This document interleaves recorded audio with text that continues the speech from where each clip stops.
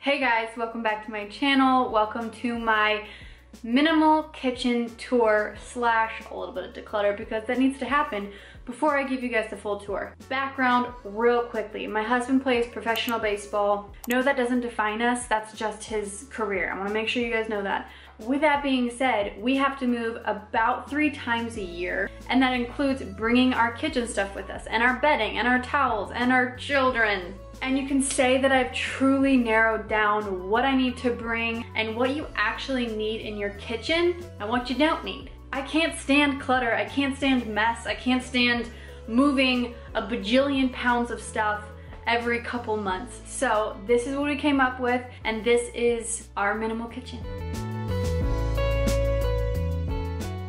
Okay, bear with me. Our lighting in here is a little bit orangey, so we're just gonna have to go with it. So I told you I need to declutter a couple things, including like our pantry. There are tons of things in there that are old and things that we just don't even eat anymore. And then I might even do like a real quick, actually that's not bad at all. I've got a pretty minimal fridge. We've got some excess glasses up in here, a lot of bottles, nice angle, a lot of tumblers, I'm thinking we might need to get rid of some of them because they're just taking up way too much space. And what if we actually cleaned out the ones that we used right after we used them? Wouldn't take up that much space. Tea cabinet needs a little bit of love.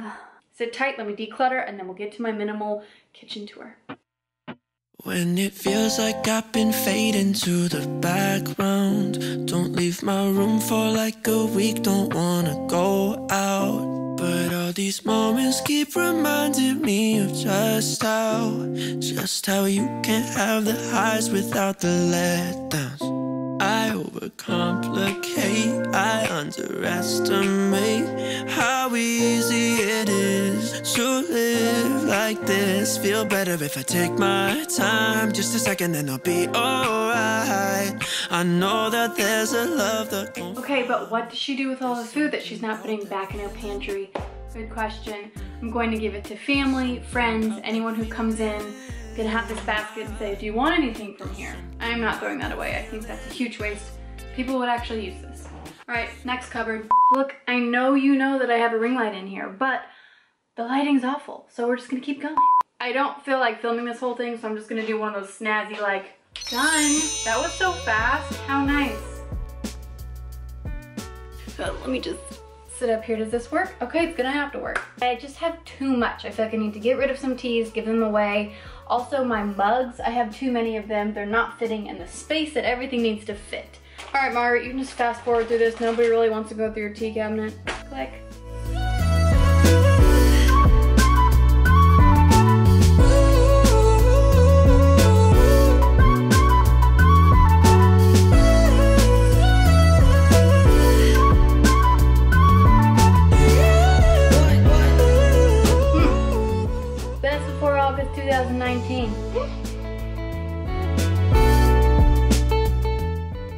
Decluttering that felt really good. There was actually more things to declutter than I thought. Let's start the tour by going through my pantry. I'm really not an excess pantry person. I like just to have exactly what I need for the week, nothing more, nothing less. If I just get a bunch of stuff and stick it in here, one, it will all be really cluttered. Two, I'll forget about it. So I like just having what I need and using that. With that being said, I do make a meal plan every single week so it makes it easier to know exactly what's in here and what I need. Next cabinet, we've got our Go Macro bars, kind of the sweet things that I don't want my kids to see all the time. This is my supplement cabinet as well as Tate's. We've got organic Olivia in there, Battle Proteins, some advanced TRS, liquid probiotics from Mary Ruth's. If you know, you know. Kind of a weird place to put bananas, but if they're out, my kids ask for them 24-7. Lollipops for emergencies. I know you guys have been waiting for this. This is my tea cabinet. I got rid of pretty much half of our mugs. Two little teacups back there. This is my favorite teacup that I use for everything. I kept one black mug and one white mug, kind of like a his and hers type thing. All of my teas, mmm, we've got my favorite Big Heart tea, just rose petals. It's the most feminine, soothing, gorgeous tea you'll ever try. My favorite, favorite cabinet, woo. This is a cabinet right here that I'm very proud of. It's our Tupperware cabinet and it's probably the most organized one in our house. I keep it this way because I want to defy the stereotype of having Tupperware and it just being everywhere. So we only have glass, we never use plastic because hot food and plastic, ah, leftovers that sit in the fridge in the plastic, meh. Don't know why I made that noise. But we've got only glass and then our measuring cups up there. A lot of them are in use right now in our fridge, so it stays neutral, it stays minimal and I love it. This is my tea kettle. I use it every single morning and every single night, so it's gotta stay out. And then this is a really cute corner. Our Sonos is back here, our little sound system. So I just cover it with some cookbooks that make me happy. Joanna, and then this little fake plant. Okay, this is the only cabinet we have for plates, bowls, and cups. Up top are Tate's Yetis and his shaker bottles, the things I hate the most in the entire world to clean. So of course, I decluttered a few. Okay, this is my appliance cabinet. Pretty minimal, we've got baby bottles, NutriBullet, this blender that I almost never use. I'm tempted to declutter it. We'll just see, I'll give it a couple weeks. Handheld mixer, anything else. If it doesn't fit in here, she gone.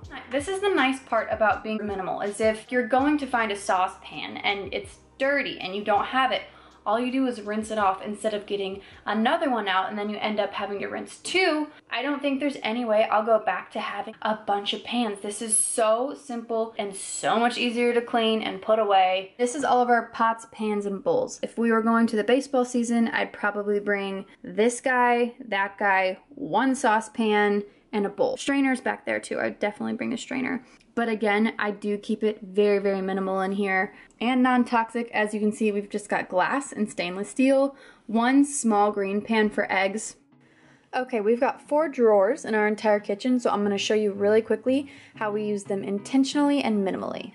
This is our silverware drawer, also the drawer that can get cluttered very easily if we have too much in it. So we've got our minimal silverware, baby stuff, spatulas, tongs, it's super minimal and it's all we need.